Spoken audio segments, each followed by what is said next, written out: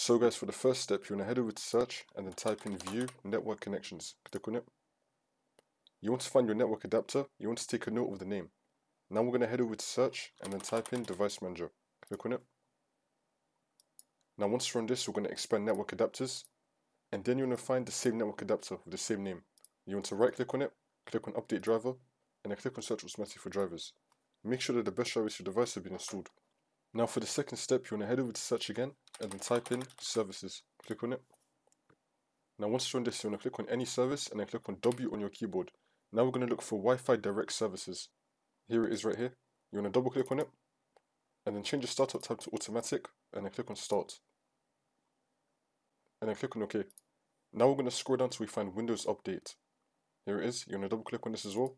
Make sure that the starter tab is on automatic and then click on start which will then make it running. Now for the last step, you want to head over to search again and type in view network connections.